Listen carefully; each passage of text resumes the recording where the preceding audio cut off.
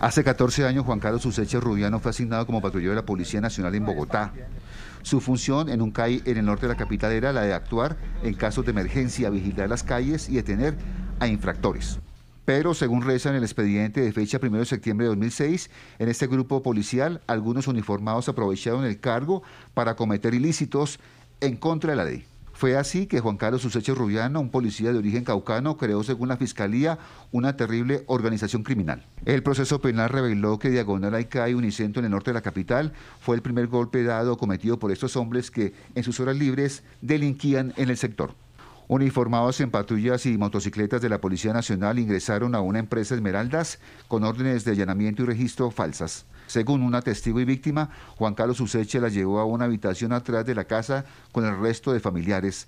Amordazados y amarrados permanecieron varias horas, mientras que los cinco hombres y dos civiles se llevaron una millonaria suma de dinero y objetos de valor. El patrullero de la policía y sus cómplices fueron detenidos y un juez le dictó una medida de aseguramiento. Sin embargo, en el juicio oral fueron absueltos debido a que las pruebas presentadas en el juicio no fueron suficientes para una condena.